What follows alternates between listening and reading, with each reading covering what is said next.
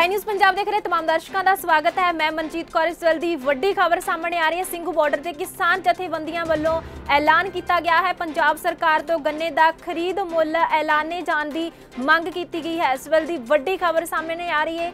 Singhu border ਤੇ ਕਿਸਾਨ ਜਥੇਬੰਦੀਆਂ ਵੱਲੋਂ ਐਲਾਨ ਕੀਤਾ ਗਿਆ ਹੈ। ਪੰਜਾਬ ਸਰਕਾਰ ਤੋਂ ਗੰਨੇ ਦਾ ਖਰੀਦ ਮੁੱਲ ਤੁਰੰਤ ਐਲਾਨੇ ਜਾਣ ਦੀ ਮੰਗ ਕੀਤੀ ਹੈ। ਗੰਨੇ ਦਾ ਖਰੀਦ ਮੁੱਲ ਨਾ ਐਲਾਨਿਆ ਤਾਂ ਵਿਧਾਨ ਸਭਾ ਵੱਲੋਂ ਟਰੈਕਟਰ ਮਾਰਚ ਚਲਾਇਆ ਜਾਏਗਾ। ਕਿਸਾਨਾਂ ਵੱਲੋਂ ਇਹ ਕਿਹਾ ਗਿਆ ਹੈ। ਇਸ ਵੇਲੇ ਦੀ ਵੱਡੀ ਖਬਰ ਸਾਹਮਣੇ ਆ ਰਹੀ ਹੈ। ਤੁਹਾਨੂੰ ਦੱਸ ਦਈਏ ਕਿ ਕਿਸਾਨ ਜਥੇਬੰਦੀਆਂ ਦੀ ਪੰਜਾਬ ਸਰਕਾਰ ਨੂੰ ਚੇਤਾਵਨੀ ਹੈ। ਸਿੰਘੂ ਬਾਰਡਰ ਤੇ ਕਿਸਾਨ ਜਥੇਬੰਦੀਆਂ ਨੇ ਇਹ ਐਲਾਨ ਕੀਤਾ ਹੈ। ਪੰਜਾਬ ਸਰਕਾਰ ਤੋਂ ਗੰਨੇ ਦਾ ਖਰੀਦ ਮੁੱਲ ਤੁਰੰਤ ਐਲਾਨੇ ਜਾਣ ਦੀ ਮੰਗ ਕੀਤੀ ਗਈ ਹੈ ਕਿਸਾਨ ਜਥੇਬੰਦੀਆਂ ਵੱਲੋਂ। ਇਸ ਵੇਲੇ ਦੀ ਵੱਡੀ ਖਬਰ ਸਾਹਮਣੇ ਆ ਰਹੀ ਹੈ। ਤੁਹਾਨੂੰ ਦੱਸ ਦਈਏ ਕਿ ਗੰਨੇ ਦਾ ਖਰੀਦ ਮੁੱਲ ਨਾ ਐਲਾਨੇ ਜਾਣ ਤੇ ਤਾਂ ਵਿਧਾਨ ਸਭਾ ਵੱਲੋਂ ਉਹਨਾਂ ਵੱਲੋਂ ਟਰੈਕਟਰ ਮਾਰਚ ਕੱਢਿਆ ਜਾਏਗਾ। ਇਸ ਵੇਲੇ ਦੀ ਵੱਡੀ ਖਬਰ ਸਾਹਮਣੇ ਆ ਰਹੀ ਹੈ। ਕਿਸਾਨ ਜਥੇਬੰਦੀਆਂ ਦੀ ਪੰਜਾਬ ਸਰਕਾਰ ਨੂੰ ਚੇਤਾਵਨੀ ਹੈ। ਗੰਨੇ ਦਾ ਖਰੀਦ ਮੁੱਲ ਨਾ ਐਲਾਨਿਆ ਤਾਂ ਵਿਧਾਨ ਸਭਾ ਵੱਲ ਚੱਲਾਂਗੇ। ਟਰੈਕਟਰ ਮਾਰਚ ਕੱਢਾਂਗੇ। ਕਿਸਾਨਾਂ ਵੱਲੋਂ ਕਿਹਾ ਗਿਆ ਹੈ ਤੇ ਪੰਜਾਬ ਸਰਕਾਰ ਤੋਂ ਗੰਨੇ ਦਾ ਖਰੀਦ ਮੁੱਲ ਤੁਰੰਤ ਐਲਾਨੇ ਜਾਣ ਦੀ ਮੰਗ ਕੀਤੀ ਗਈ ਹੈ। ਕਿਸਾਨਾਂ ਦੀ ਪੰਜਾਬ ਸਰਕਾਰ ਨੂੰ ਚੇਤਾਵਨੀ ਹੈ। ਸਿੰਘੂ ਬਾਰਡਰ ਤੇ ਕਿਸਾਨ ਜਥੇਬੰਦੀਆਂ ਨੇ ਐਲਾਨ ਕੀਤਾ ਹੈ।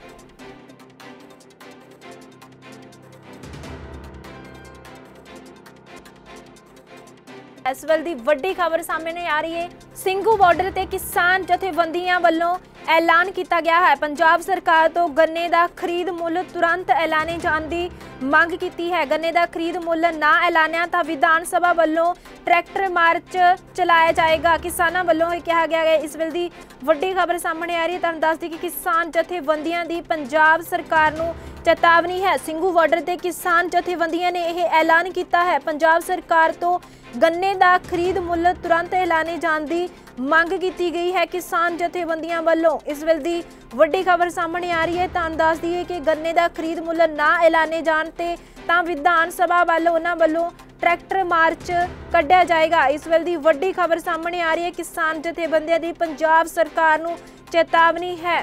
ਗੰਨੇ ਦਾ ਖਰੀਦ ਮੁੱਲ ਨਾ ਐਲਾਨਿਆ ਤਾਂ ਵਿਧਾਨ ਸਭਾ ਵੱਲ ਚੱਲਾਂਗੇ। ਟਰੈਕਟਰ ਮਾਰਚ ਕੱਢਾਂਗੇ, ਕਿਸਾਨਾਂ ਵੱਲੋਂ ਕਿਹਾ ਗਿਆ ਹੈ ਤੇ ਪੰਜਾਬ ਸਰਕਾਰ ਤੋਂ ਗੰਨੇ ਦਾ ਖਰੀਦ ਮੁੱਲ ਤੁਰੰਤ ਐਲਾਨੇ ਜਾਣ ਦੀ ਮੰਗ ਕੀਤੀ ਗਈ ਹੈ। ਕਿਸਾਨਾਂ ਦੀ ਪੰਜਾਬ ਸਰਕਾਰ ਨੂੰ ਚੇਤਾਵਨੀ ਹੈ। ਸਿੰਘੂ ਬਾਰਡਰ ਤੇ ਕਿਸਾਨ ਜਥੇਬੰਦੀਆਂ ਨੇ ਐਲਾਨ ਕੀਤਾ ਹੈ।